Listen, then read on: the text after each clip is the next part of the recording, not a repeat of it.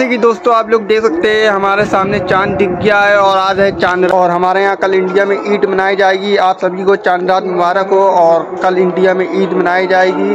और जैसे कि हमारी शॉपिंग हो चुकी है, आप लोगों को दिखाएँगे हमारे हमने क्या शॉपिंग करी है। तो इस ब्लॉग में बने रहिए। फाइनली गाइस हमने ईद की शॉपिंग कर ली है। तो क्या क्या की है इसकी शॉपिंग? तो चलिए आप लोगों को दिखाते हैं। तो आप लोग देख सकते हैं, ये मेरा ब्लैक वाला कुर्ता है और ये एक ये वाला कुर्ता ये मेरे दो कुर्ते हैं और इसके अंदर थोड़ा सा सामान है और ये मेरे जूते हैं जो कि आप लोग देख सकते हैं और थोड़ा सा और सामान लाना है मार्केट से। तो चलिए मार्केट चलकर आपको दिखाते हैं कैसा क्या माहौल है बाहर का। तो वीडियो के एंड तक बने रहें। तो जैसे कि दोस्तों, हम आ चुके हैं मार्केट में और मार्केट में आप लोग देख सकते हैं कितनी भीड़ है। लोग सामान खरीद रहे हैं और कल मनाई जाएगी ईद। तो आप लोग देख सकते हैं किस प्रकार से भीड़ है यहाँ पर। और हम भी चलो सामान ख़रीद लेते हैं, पर उसके बाद ब्लॉग को एंड करते हैं।